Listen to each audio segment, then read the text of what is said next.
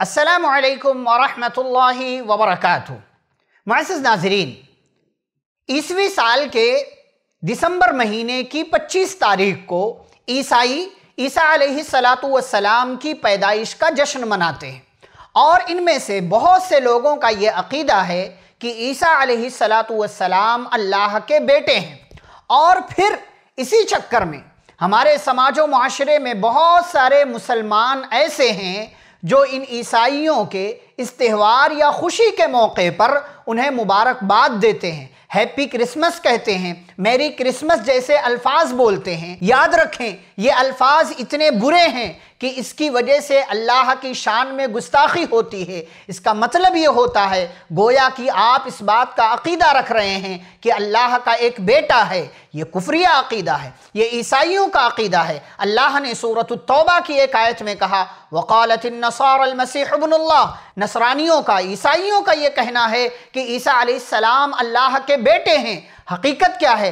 सच्चाई क्या है? लम यलिद, वलम यूलद। न वो किसी का बाप है, न उसका कोई बेटा है। उसे इन तमाम चीज़ों की कोई ज़रूरत नहीं है। अल्लाह ने एक जगह कहा कि तुम इसको मामूली बात समझते हो। हमारे समाजों, माशरे में देखें, बहुत सारे लोग कहते हैं, उनकी दिलजोई के लिए ये जुमला हमने कह दिया तो क्या गलत किया? उनको थोड़ी सी खुशी मिल गई। इसको मामूली समझते हो। वकाल तखदर रहमान वलदा। ये इतनी बड़ी बात है, इतनी बड़ी बात। अल्लाह ने कहा सूर्य मरियम की आयात के हवाले से, वकाल तखदर रहमान वलदा। ये लोग कहते हैं कि रहमान ने, अल्लाह ने अपने लिए लड़का बना लिया। लकद जी तुम शई अन इद्दा। ये इतनी बड़ी बात है कि तुम बहुत बुरी, बहुत बड़ी बात लेकर के आए हो। और ये इतनी बड़ी बात है तकादुस्समावातु यतफत्तरन मिनहु। इसकी वजह से आसमान फट सकता है, ज़मीन फट सकती है। व तखिरुल जिबालु हद्दा।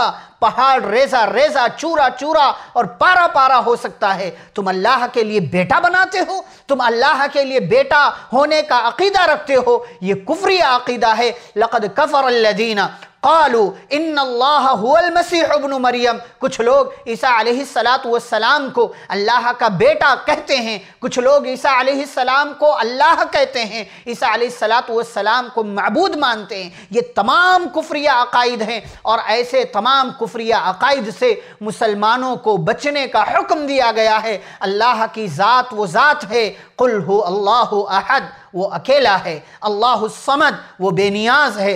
लम यलिद वलम यूलद वो किसी का बाप नहीं, उसका कोई बेटा नहीं। वलम यकुल्लहु कुफुअनहद उसके जैसा, उसके बराबर, उसके हमसर कोई नहीं है। तुम अल्लाह के लिए बेटा होने का अकीदा रखते हो। अल्लाह को इन तमाम चीज़ों की कोई हाजत और ज़रूरत नहीं है। आसमान और ज़मीन की तमाम तर चीज़ें अल्लाह की मुहताज हैं, अल्लाह के ग़ुलाम हैं, अल्लाह के सामने आजिज़ हैं, बेबस हैं और तमाम चीज़ें अल्लाह की इबादत में लगी हुई हैं। मुसलमानों, अपना अकीदा दुरुस्त करो, अपने अकायद की असलाह करो। किसी और को खुश करने के चक्कर में तुम अपने ईमान और अकीदे से समझौता ना करो, कहीं ऐसा ना हो कि शैतान तुम्हें इस मामूली बात की वजह से वहाँ पहुँचा दे, जहाँ तुम्हें अल्लाह रब्बुल आलमीन अजाब की शक्ल में मुब्तला करके जहन्नम की वादियों में डाल देगा। प्यारे नबी सल्लल्लाहु अलैहि वसल्लम फरमाते हैं, बसा औकात बंदा एक ऐसी बात कहता है कि जिसकी वजह से उसे परवाह नहीं होती। उसे लगता है ये मामूली बात है, मामूली काम है, मामूली हरकत है। कह दिया क्या जाता है? नबी फरमाते हैं